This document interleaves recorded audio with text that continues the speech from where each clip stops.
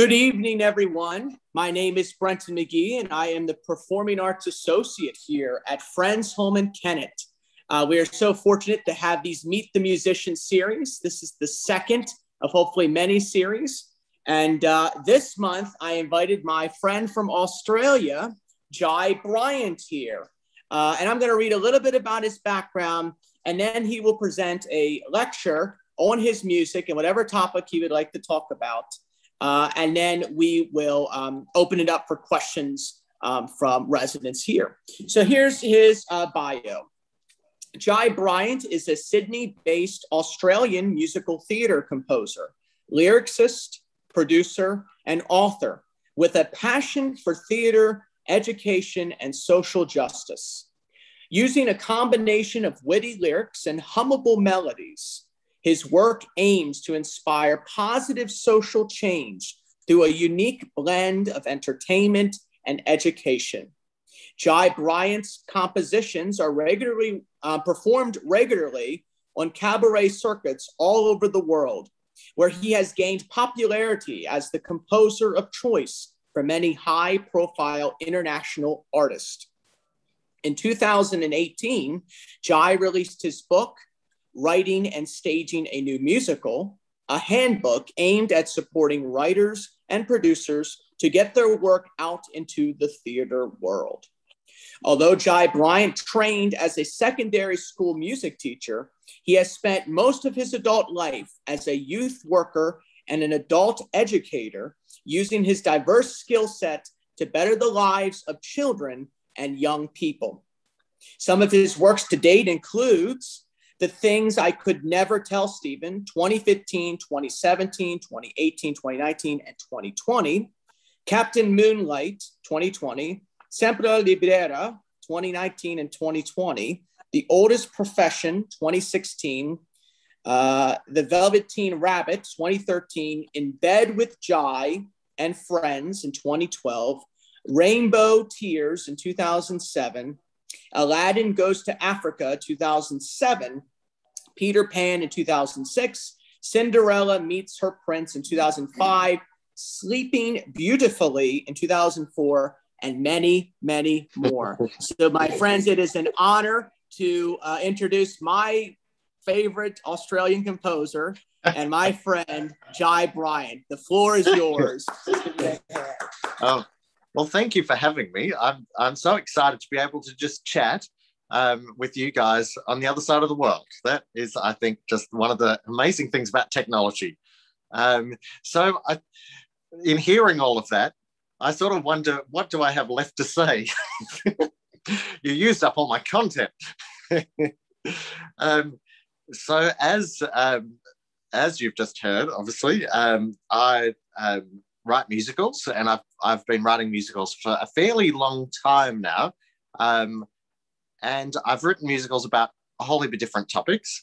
Um, I started out in community theatre. So uh, when I was about 13 or 14, I started uh, in the ensemble for um, the Pirates of Penzance.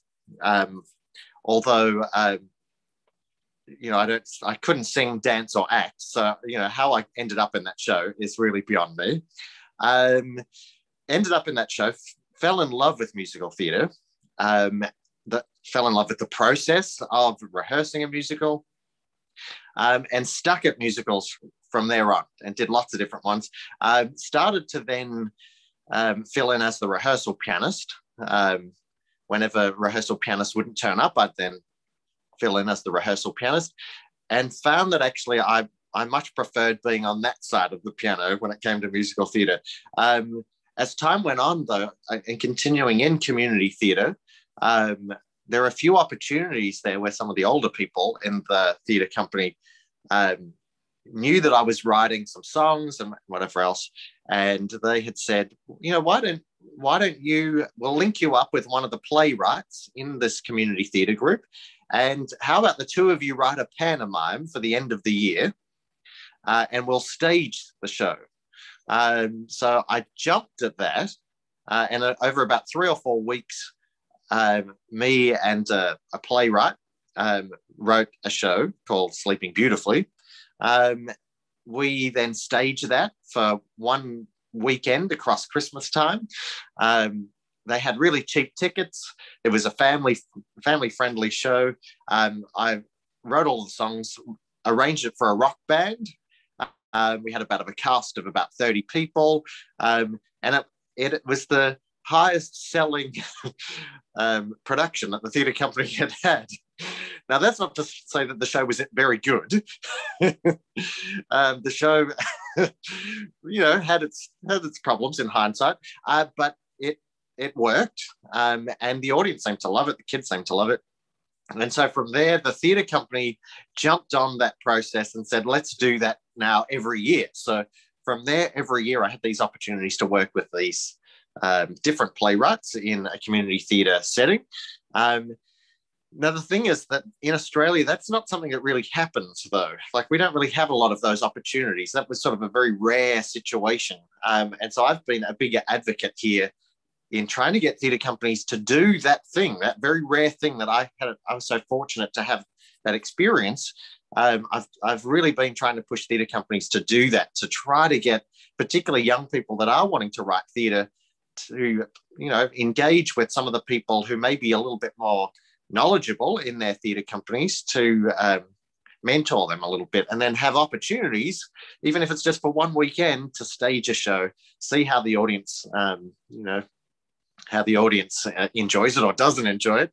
Um, because we can learn so much, I think, from that experience to see the thing that you've been writing, usually at your piano on your own, you know, the peaceful quiet of your home, and then to write it and then put it on stage it's quite an, a rare experience that a lot of people don't really get. So to have that and to have an audience then say, "Oh, I really like that song," or "I didn't really like that song," uh, is such a, an important process. The other part, which I found useful, is also that throughout that rehearsal process with a cast, you're getting feedback from singers. Oh, that's too high. You need to bring it down a key.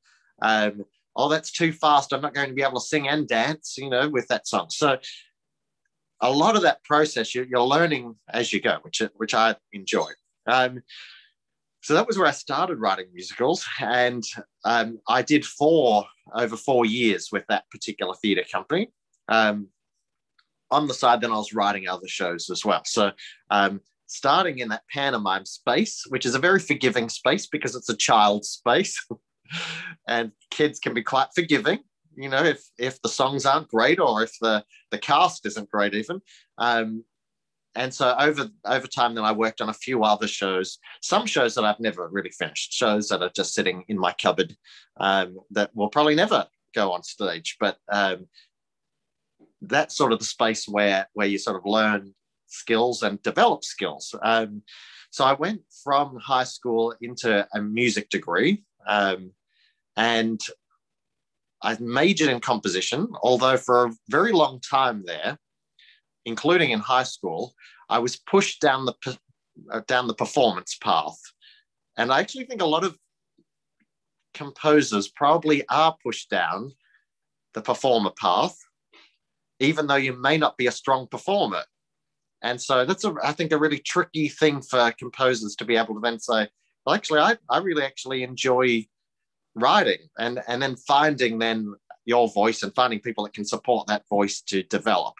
Um, so I, I did a music degree majored in composition. At the end of that degree um, i thought what am i going to do with these skills? Well of course i'll do what every other music person was doing in my degree. I'm going to go and learn how to be a music teacher. Enjoyed that. And then of course very quickly realized that i didn't want to teach uh, young people crotchets and quavers for the rest of my life. Uh, and so from there decided that maybe this wasn't really the the avenue for me. At that time, though, I'd been doing some youth work. So I'd been working with young people, particularly young people who were developing their own plays. Um, and so I eventually then went down that path because I actually thought this is actually far more fun. I really enjoyed teaching people that process and exploring that creative process. So from there, I've actually stayed in youth work on and off um, for the past 15 years, doing all types of things, whether it's African drumming with kids, whether it's playwriting with kids. At the start of this year, I did a program with some young people in rural Australia, and um, over 10 weeks, they wrote their own musical, um, which is a very, very big task. and I don't think they realized how big that task would be. Um, the youngest was 12, the oldest one was um, 19. And um, there were six of them, and they did amazingly well. They they wrote a show called Goldie, which was a, a, a take on Goldilocks and the Three Bears. Um, and we had a workshop. So I, I drove interstate into where this uh, theatre was and spent the weekend with the young people workshopping it. So we, we went through the script, we looked at some of the songs, figured out areas that they could do some with improvement. So then that that came about because of the book that um, that I wrote in 2018, um, which is really just a, a, book filled with steps and tricks and tips um, that I've learned along the way from lots of other people uh, about writing musicals. Because again, that's one of those things, as I said before, that um, often musical theatre writers are doing it on their own, and we often don't really know what to do or how to go about it. Um, and that's tricky if you sort of think, well, I want to write a musical, but I'm not even sure where to begin. It just seems like a really, really big task. And it sort of is a big task. Um, but the way I see it is that it's, it's lots of little tasks, millions of little tasks. and it's just about staying on track with that. Um, so over the years, I've written a whole heap of different shows. My most well-known show is The Things I Could Never Tell Stephen, which um, premiered in Sydney in 2015. Um, I brought it back in 2017, uh, again in Sydney. And then from there, it sort of took off. Um, it, it then went to County Cork, um, Ireland, um, Belfast and Northern Ireland twice. And a whole heap of different times around Sydney, Brisbane, um, and uh, at the end of last year, the National Theatre of Parramatta, which is a theatre company uh, in Western Sydney in Australia, um, they took it on, and that was its first professional production. Uh, and exciting news is that um, in August, September, um, a theatre company in Chicago is going to be staging it, which is exciting. So um, so that will be uh, August to September. So, um, and that show is is a very simple show. It just has four characters. Um, the title of the show says it all. It's four characters, and for them, it is the things that they can't tell this one person that they all share. Um, it has some comedy in there. It has some some sadness in there, um, and um, it's accompanied by a solo piano. So it's it's like a cabaret type show, and I think that's actually why people love staging it because it's so simple to stage. And we found out it's also incredibly COVID safe, which apparently is going to be a really good thing moving forward in this world that we live in now.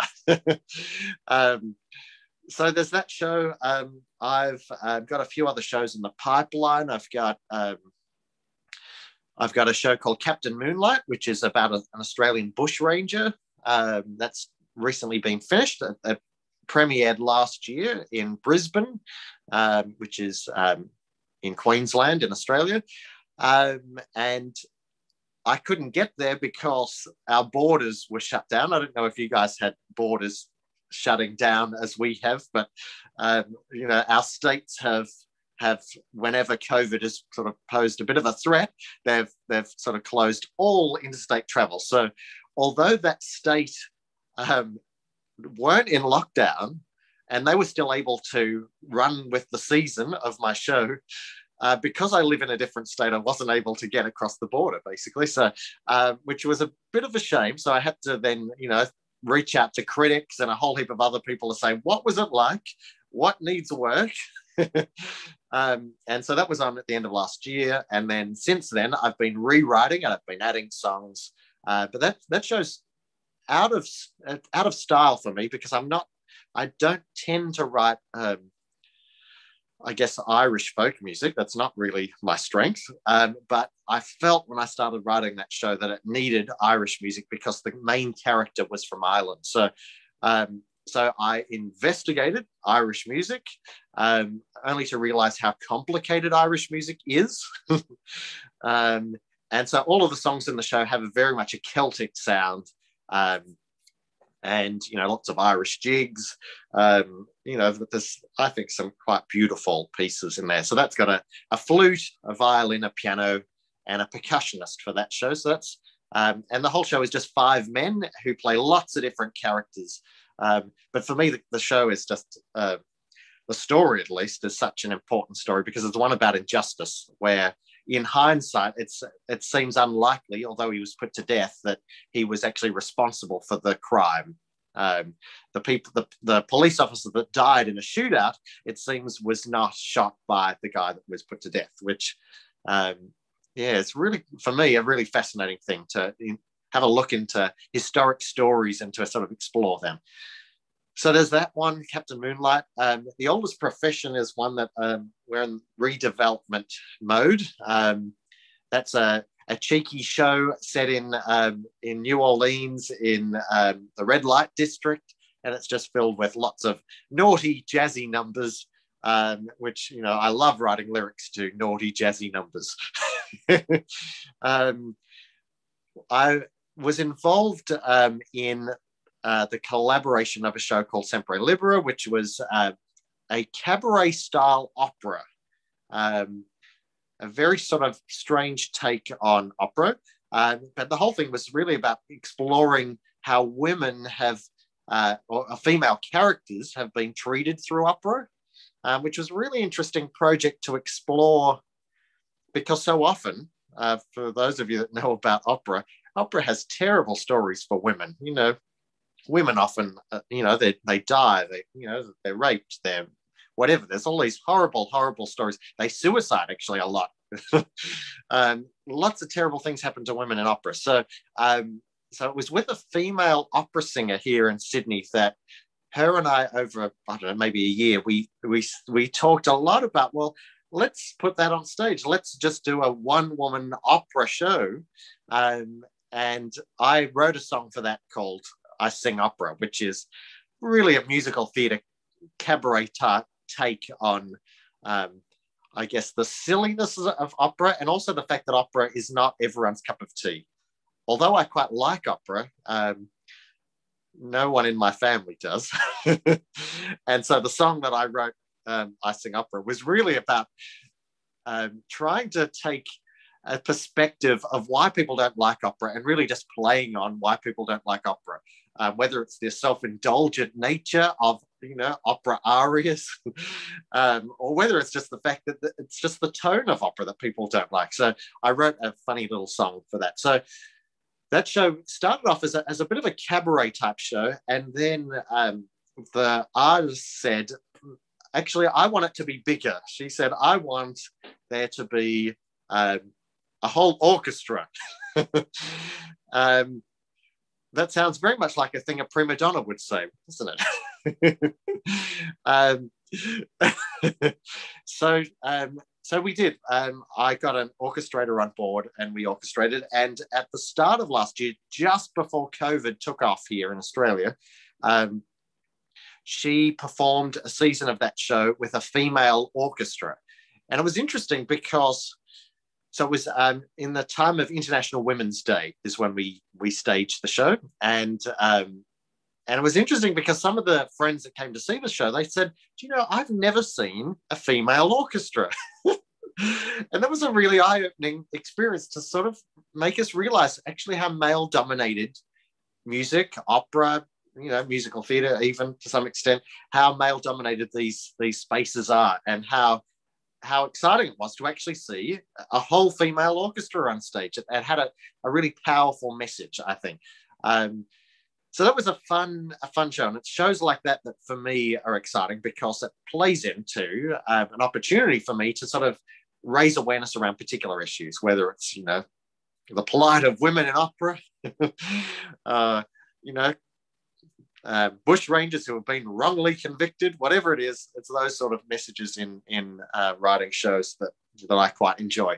Um, I'm in the process now of um, taking on a new project, uh, which is called the Murder Trust, which is um, set, I'm guessing, somewhere near where you guys are. Um, a true story in Prohibition times, um, where basically a group of uh, men befriend an Irish guy who seems to be homeless, doesn't seem to have many friends. They befriend him and they take an insurance policy out on his life, and then they try to kill him over and over and over and over again. Um, and each time he seems to survive until obviously the very end. But um, so that's the latest project that I've I'm um, getting involved with. So there's an American writer who lives in Sydney, and he and I are looking at that as a, a future um, collaboration. There's another show, um, which is one based on um, an ancestor of mine. Um, I have an ancestor who who was Australia's modern Australia's first ferryman. Um, now, Australia is modern Australia is a, is a bit younger than modern America. Um, started out as a convict settlement, um, and my one of my ancestors uh, was sent here as a convict from England. But the interesting thing about that convict is that he was born in uh, New York uh, as an African slave. Um, and it seems in the War of Independence got out somehow. I'm not sure. He ended up, no one really knows how, but he, uh, although he was born in America, um, ended up in London and lived in London for, I would say, maybe 10 years thereabouts.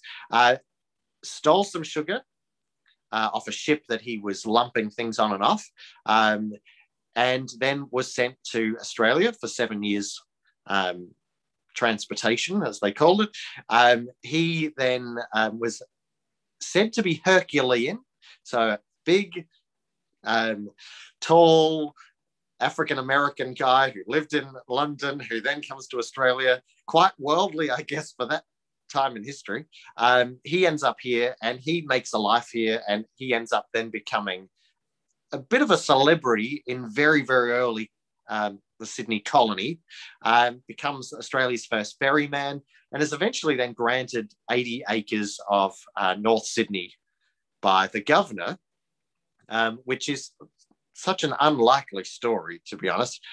Um, although it happened, unlikely, but it happened. Now, that piece of real estate is right near the Sydney Harbour Bridge. My family does not own that anymore. My family has probably not owned that for, for, for many, many generations. Um, so, but that story is one that is fairly unknown in Australia and um, is one that I've been working with um, a Sydney based playwright and uh, an American African American playwright who has now moved to Sydney.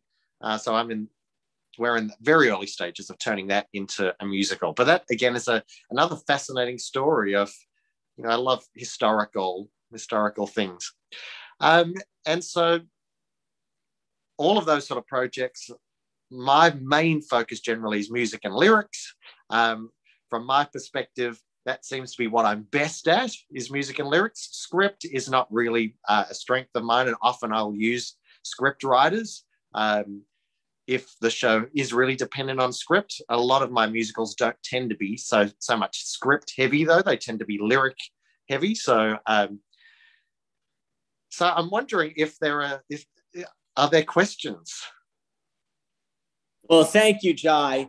Um, before we get to questions, I yeah. would love to play your six pieces. Um, okay, and then you can you know you can talk about um, each one again. So um, because there's a lot here, a lot of great stuff, and um, it's really great. I that last piece seems very fascinating. Um, uh, so let's go through the "If You Were Real" from Velveteen Velveteen Rabbit. Is that what it's called? Yeah.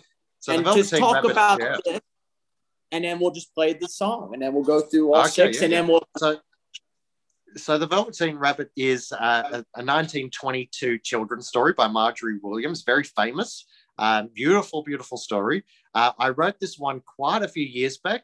Um, and this song, this is actually four songs which I've sort of joined together in this recording. Um, and basically, the, the deal is that e- each one is a different toy picking on the Velveteen Rabbit, basically. So each character is there's a train, there's a boat, there's a lion, there's a soldier, and they're all basically saying, "I'm real, you're not real." Um, and then they're bombarding, and the poor rabbit at the end cries, should have mentioned. Um, and this was recorded in 2013 when we premiered the show in Sydney. Um, so yeah, have a listen to it. See what If you you were think. real, then you'd be up to date, just like me, with the latest, greatest new technology. You'd have gears, you'd have springs, and mechanical things, and they'd envy you just like they envy me. Then I should be modern. Everyone likes modern, Everyone likes modern. of course they do. Do you think that I can be? No, not with your technology, a toy from history. If you were real, then you'd know, and your cockpit would show. Push something and pull a string, then you would go. You'll find up to date toys are the ones who make noise, and it's like nothing that you will ever, Like nothing that I will ever. like nothing that you will ever know. I have never seen in my life as a marine a toy unintelligent as steel. Like navy boats, we smaller boats float, cause that's what happens when you wanna reel. So if I was smarter, Everyone is smarter, everyone is smarter. of course they are. Who do you think that I can be? And don't you dare rely on me, cause I'll be out at sea. Look at you and me, now the difference you see. A toy is so inferior should kneel. I model hard, but you're not that smart, and that's what happens when you wanna. That's what happens when I'm not. That's what happens when you wanna reel.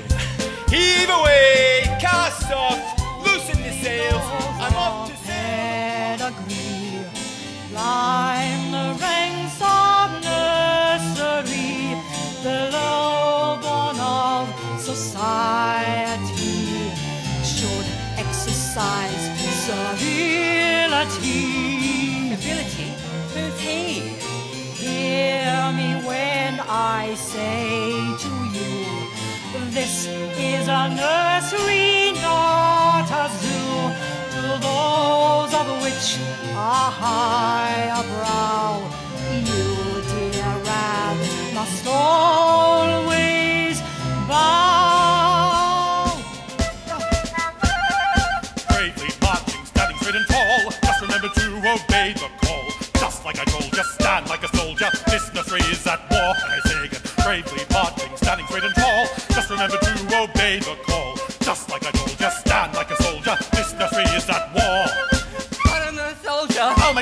Soldier. You'll make me a soldier. Yes, I will. One, two, three, four. Bravely don't like marching off to war. Fall in. Steady on the left. Left. Left. Left. Right. Left. Look, what are you, a man or a mouse? I'm a rabbit, sir. Excuses are for wimps. One, two, three, four.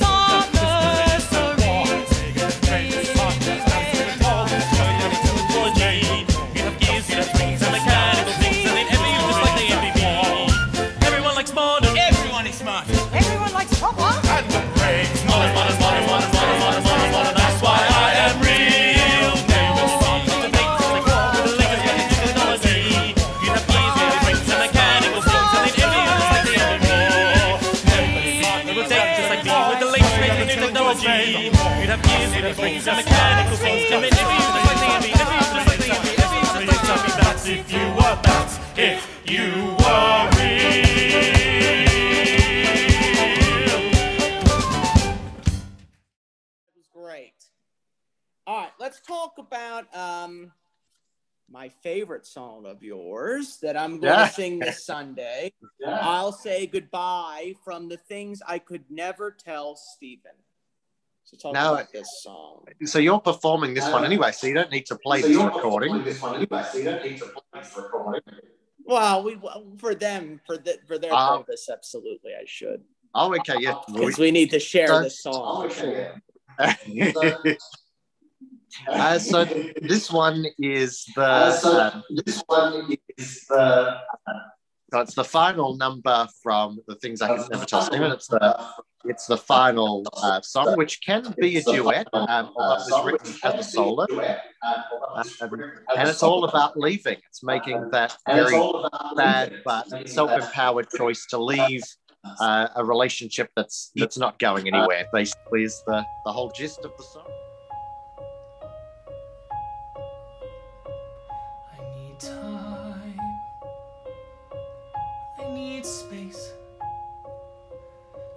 Place where I can be without you.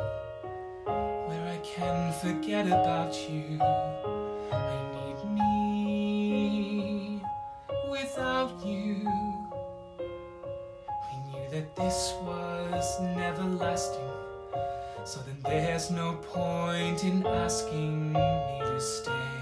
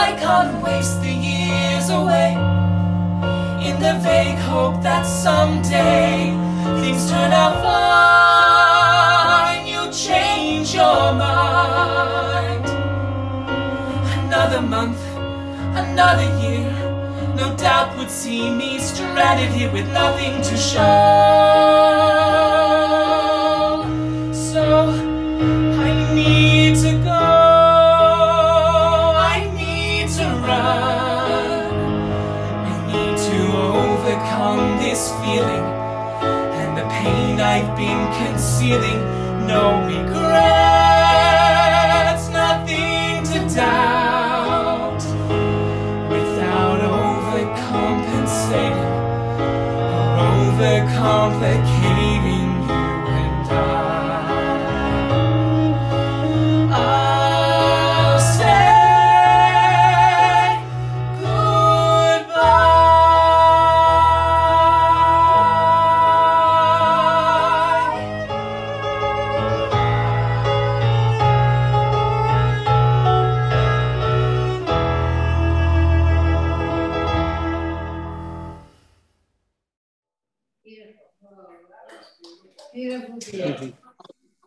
Did you hear that? They really liked it. Oh, oh, good. I'm glad. favorite, one of my favorites that you've written. Um, Oh, so good. That's for sure. That's a great one. So I'll have someone record it Sunday. I'm singing that song. Yeah. Maybe at the end I'll sing it for you. We'll allow it. Good. So I'll play the piano and sing it, um, and do the best I can do it um, with the composer there. Um, we'll do that the. Um, so the third song is My Little Possum and From the Things I Could Never Tell Stephen. Let's talk about that one. So what's that one about? so this one is a cheeky little number about pet names. Um, so I think quite often, you know, we may have for the people that we love, we might have some cute little names that we call them. So this song is really a, a list song. Um, so it goes through a lot of different pet names that we might call someone. Uh, but this is sung by the mother in The Things I Can Never Tell Stephen. And it just shows how obsessive she is over this son of hers and how much she loves him so much that she's actually sort of quite suffocating. So it's a comedic number. And this recording was from uh, the Sydney Fringe Festival version in 2017. And the performer actually is an opera singer. So um, it shows, you know, although it's musical theatre, there are, she brings in some of her opera-ness. Um, so yeah, And this is the same musical. This is from the same musical, The Things I Could Same Never. Tell Steve. So, um, so let's listen to it. I love my darling.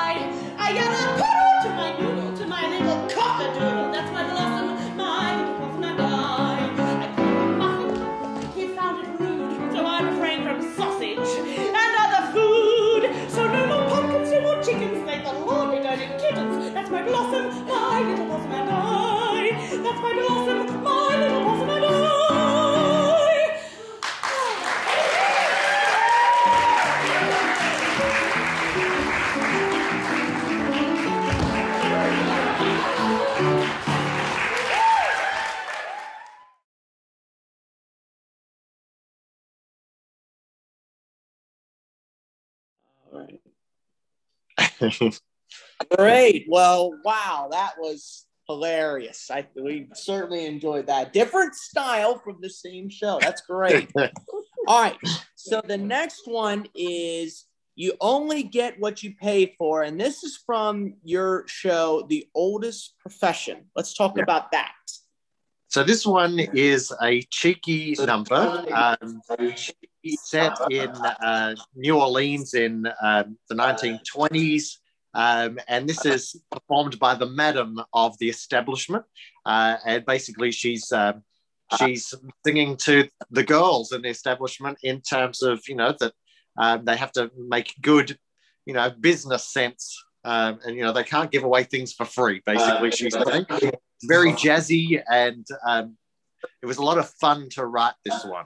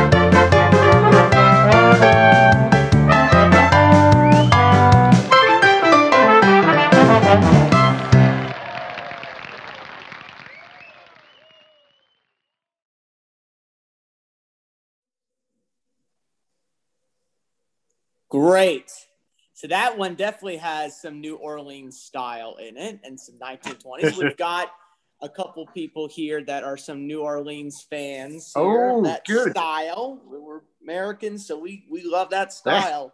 um, so next one is I Sing Opera from Sempre Libera. And we talked about that earlier about um, you know women's roles in operas through the the centuries. But let's talk about this particular aria and, and the why you wrote it and, and a little bit about the show. So, although um, it's an opera show, um, it is. I've written it in a way that is very similar to an aria. It's got a, what we call a recit- recitative at the beginning. Um, also, sort of fun and cabaret as well, that sort of structure. Uh, and then it goes into a fairly typical waltzy sort of uh, opera style, basically. Um, and there's an opportunity here for the vocalists to just show off, which again is a bit of a feature of opera. So, um, so it's just meant to it's just meant to be a bit of harmless operatic fun is the whole point of the song. Um, so yeah, see see what you think of it. That's great. All right. Let's listen to I Sing Opera.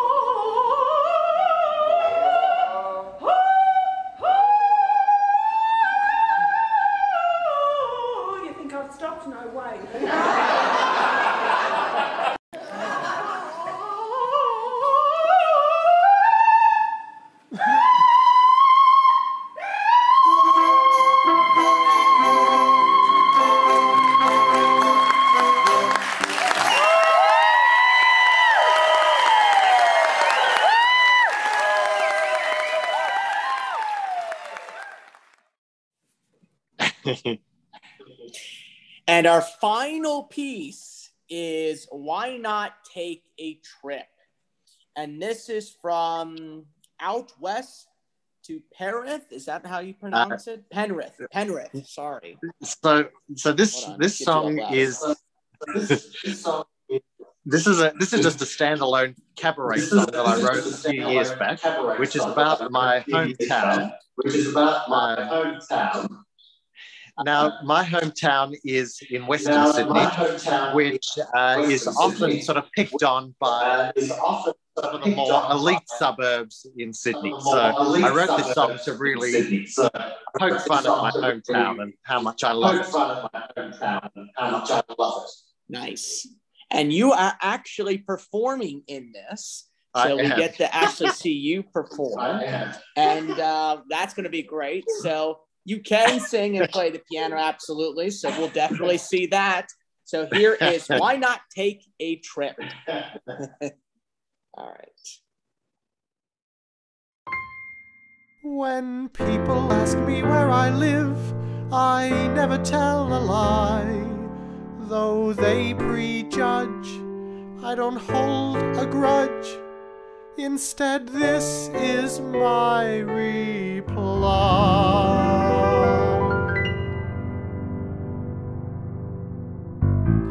Not take a trip out west to Penrith? The people there are really rather nice.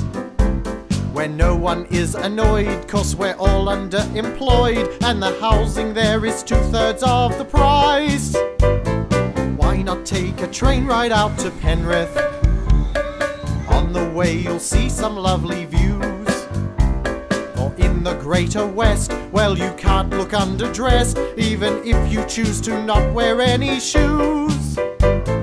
Penrith is quite outdoorsy, and the quality of life is higher. Though our food is full of grease and our people are obese, still we like to get around in sports attire. Why not book a weekend stay in Penrith? You might even bring your mum and dad. I hope someday you do it and you make it past Mount to see Penrith really isn't all that bad.